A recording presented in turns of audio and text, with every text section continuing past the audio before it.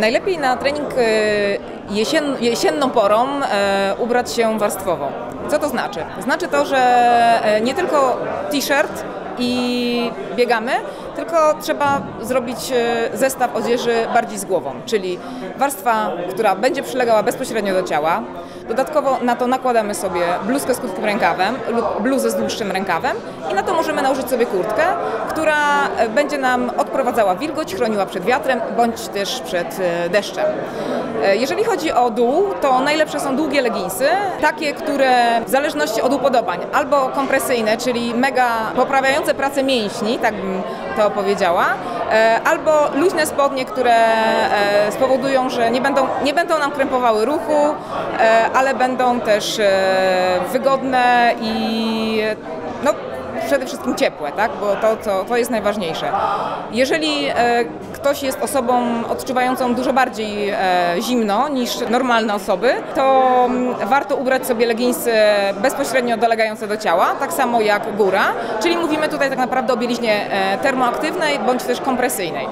E, wszystkie rzeczy, które używamy do treningu powinny być e, skonstruowane z materiałów technologicznych, które odprowadzają wilgoć, nie absorbują e, brzydkich zapachów e, i szyb, są szybko schnące i tak naprawdę posiadają elementy, które są komfortowe, jeżeli chodzi o nasze użytkowanie. Odzież e, do treningu stacjonarnego, czyli na przykład siłownia, a odzież do runningu różnią się przede wszystkim emblemata, emblematami, które posiadają na sobie. Czyli wiadomo, że wszystkie, wszystkie rzeczy, które będą przeznaczone do treningu runningowego, czyli do biegania, będą posiadały odblaski w bardzo widocznych miejscach, w takich miejscach, które po prostu e, na pierwszy rzut oka będzie to do wyłapania.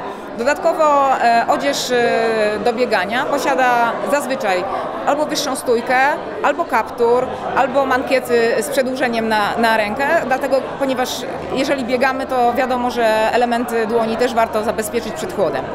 Jeżeli chodzi o trening, e, to odzież treningowa e, posiada bardzo dużo elementów e, wentylacyjnych, czyli siatki, różnego rodzaju wbudowane elementy, które są integralną całością na przykład koszulki. Mówimy tutaj o, o ciuchu damskim. Jest to zazwyczaj koszulka z wbudowanym stanikiem, tylko i wyłącznie po to, żeby nie obciążać, nie dodawać dodatkowych warstw i żeby po prostu nie skupiać się, pani, która ćwiczy, nie musiała się skupiać cały czas na poprawianiu stanika, czy obawie, że coś może wyskoczyć, czy, czy pokazać się nie, nie takim stopniu, jakby, jakby się chciało.